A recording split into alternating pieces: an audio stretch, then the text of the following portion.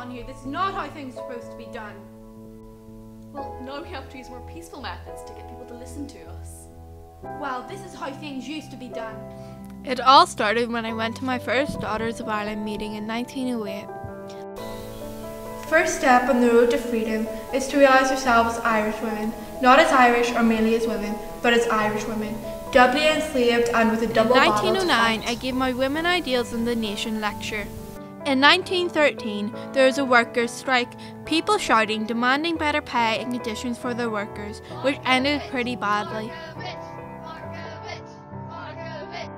In 1916, we launched a fierce armed uprising with the aim of Irish independence. I sentence you to death.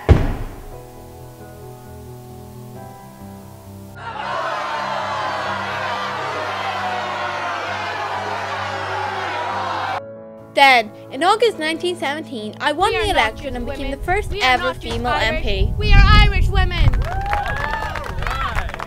Now that you've seen my life story and what I've been through, I hope you will try to keep this alive.